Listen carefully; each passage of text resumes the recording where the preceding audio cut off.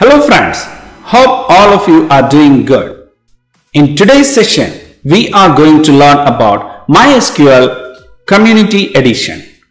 We are going to install MySQL Server in our PC and also we will do some SQL operations.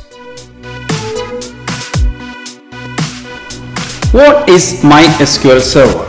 MySQL Server is an open source database server which will help you to manage your relational database which is RDBMS Relational Database Management System. To download a MySQL server you have to go to dev.mysql.com once you reach the dev.mysql.com, you can see at the left hand side MySQL downloads. Click on MySQL downloads and you need to get MySQL community server. Once you get the MySQL community server, you have two options. You can click this second option which will give an installer, uh, which is actually giving a zip file whereas you want to get a installable file you can go here to download page and you can choose this installer the second installer now I got my MSI file downloaded to this location. What I'm going to do is double click on this MSI file and we will get this MySQL started installing. Let's wait to install MySQL. Yeah now my MySQL installer launcher has launched. I'm just clicking on next. I already have MySQL workbench. Still I am going to install MySQL workbench as well. Next and execute you can see the progress is going to install now the MySQL installation as you can see it has been workbench installation has been completed and now I'm clicking on next. Once you have opened this, you need to install this MySQL server. I'm just adding the MySQL server and clicking on next and execute it. So now my MySQL server is getting installed in this PC. Now as you can see my MySQL server community edition installation has completed and I'm just finishing with the configurations the standalone MySQL server classic is what I'm actually InnoDB cluster. I, am not going for the cluster, I'm going to install the standalone MySQL community edition and the 3306 is my port which I'm installing and I'm going to the next recommended things, I'm going with the default. Now my MySQL installation requires a password which will allow me to log in to the MySQL databases.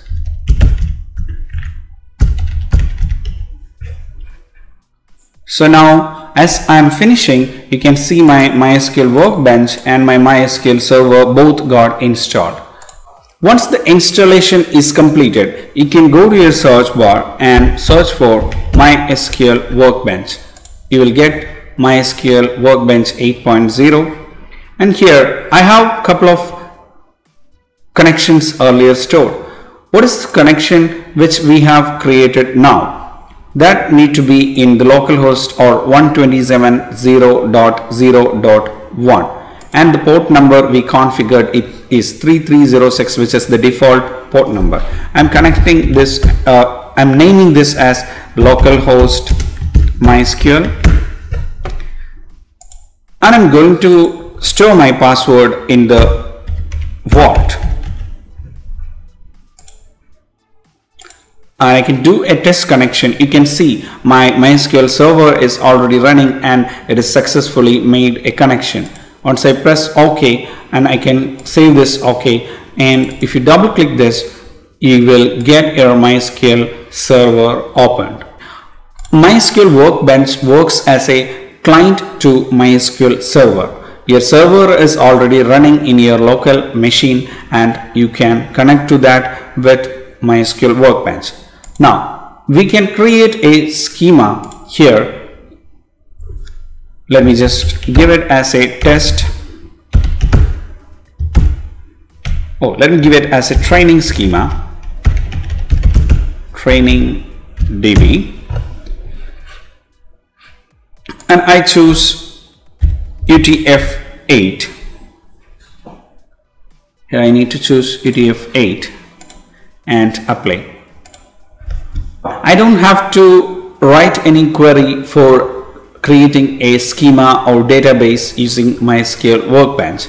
Here you don't have any tables so far. I'm just going to create a table to store some data. Let me just create the table name as um, what we want to store is a employee details say employee so is an employee table whereas uh, I want to create some database fields. ID then which can be an integer then a name then his uh, department and uh, next one can be his um, role okay. So all these things got work here 45 and uh, this got an integer. You just apply. And the create query has already generated by your MySQL workbench. Apply this. Finish it. You can see your table got created in the left hand side. You can see here. And you can click on your columns. Now let's write a query. Select to select uh, data from the database you need to use uh, select query select star which will select all the fields the wildcard star you need to use for selecting all the fields. Select star from employee. So this is your uh, table name employee. You run this by clicking this icon. I got I got some error maybe no database selected so I need to double click on this so that this database will be selected and this database from this database schema from the database schema training DB the employee will be selected now when you run the query select star from training db.employee you got all your employees listed here. As we don't have any employees in this table, we can we can add some employee details here. Here I am adding ID as 1 and the name Arun RS Chandran and then department name software development and then role is lead and then you need to click on apply once you click on apply the query will run and the the data will be generated the data will be saved into the fields. Now can see the query and you can use the query also to insert data. So here you have to mention the ID name department name and the role. Here what I'm going to do is to and then changing the data software development lead. I'm adding one more person. Just run it. And the query has run now. You can select the table. You can run this select query and you can see the data over here. Now that's how you operate with a table by creating a table inserting a data and selecting the data. Now when you want to delete a data what you do is you right click and delete and when you apply you will see this query this query you can use for delete the field or delete a row from the table now we have installed MySQL community server into our local machine and also we have connected the database using MySQL workbench. Now you need to learn a little bit on the SQL queries like create, insert, update and delete. So these things you need to learn these are called CRUD operations um, create, retrieve, update and delete. So these are called as CRUD operations. We have seen how we can install MySQL Server Community Edition into our PC and also we connect our MySQL Workbench to operate with the databases and schema.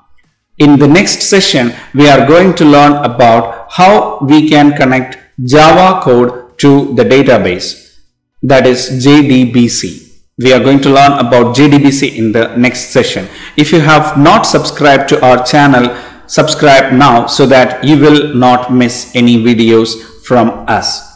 Thank you for watching the video. Bye.